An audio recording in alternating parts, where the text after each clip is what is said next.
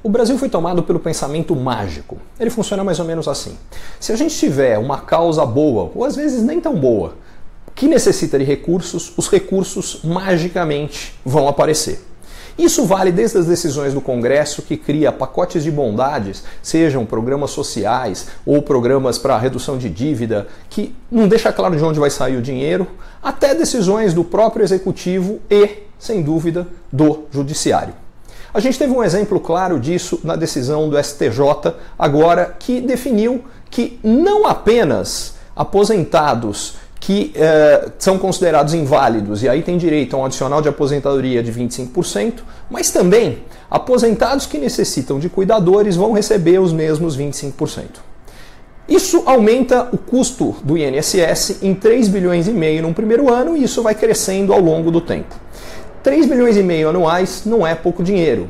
Não tem nada errado na decisão do STJ, desde que ele defina de onde sai o dinheiro. Se ele falar, olha, precisamos fazer isso e por consequência, todo mundo vai ter que trabalhar mais tempo antes de se aposentar. Segundo, outra opção, não, a gente vai reduzir o valor de aposentadoria de todos os outros que não precisam de cuidadores para que saia disso. Porque caso a gente não faça isso, se a gente não define de onde saem os recursos, a gente vai pagar a conta do mesmo jeito. A gente vai pagar a conta porque dinheiro que seria usado por outras coisas precisa ser uh, levado para isso, que é o que acontece hoje. Hoje o que a gente faz é que a gente tira dinheiro de educação, de saúde, de saneamento, de infraestrutura, de segurança para levar para a aposentadoria. E vai ter que fazer mais, vai tirar mais dinheiro de escola e de hospital para poder pagar isso aqui. Não estou nem falando que está errado, talvez seja uma causa justa. A questão é, a gente precisa deixar claro sempre os benefícios e os custos. No Brasil, a gente quer brincar de que as medidas só têm benefícios. A gente faz de conta que os custos não vêm. Eles sempre virão.